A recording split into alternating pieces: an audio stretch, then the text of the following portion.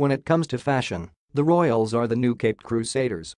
Sisters-in-law and duchesses, both Kate Middleton and Meghan Markle have warned, been spotted sporting cape dress or cape jacket hybrids, marking a comeback of the simple cut in a very un Little Red Riding Hood way.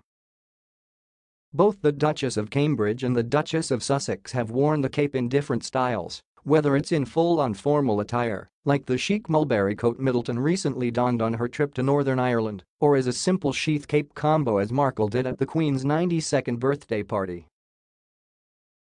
The takeaway, a cape embellishment is versatile, stylish, and we should all get on board.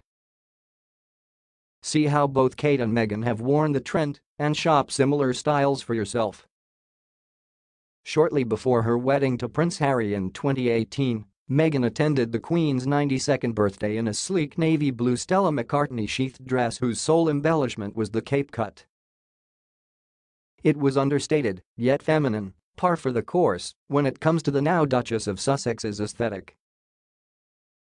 Proof that you don't need tons of bells and whistles to elevate a dress for a fancier setting.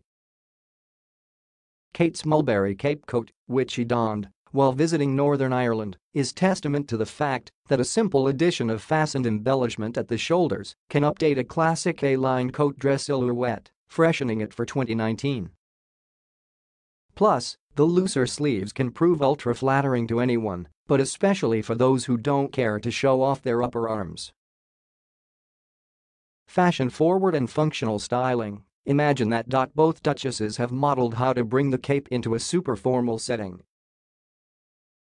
With Kate, her blush chiffon Alexander McQueen gown with crystal detailing at the collar was delicate and fluttery, but also not overly busy. Instead the flowing cape not only flattered her burgeoning baby bump but also but added interest to the look without any busyness. Meghan, on the other hand wore a bone-hued Christian Dior cape dress on her official visit to Morocco, but the cut was more structured. Even so, it provided elegant detailing to an otherwise simple and modestly cut gown. For your next formal event, the message is clear, ditch the bows and the long trains and wear a cape gown instead.